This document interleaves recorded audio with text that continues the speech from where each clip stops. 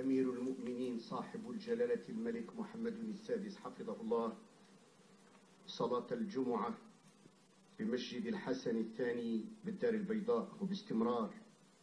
يدعو أمير المؤمنين إلى بناء المجتمع المتكامل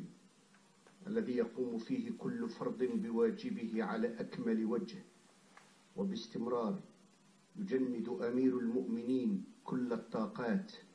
يحفز أمير المؤمنين الجميع ليكونوا في مستوى المسؤولية العظمى التي تحفظ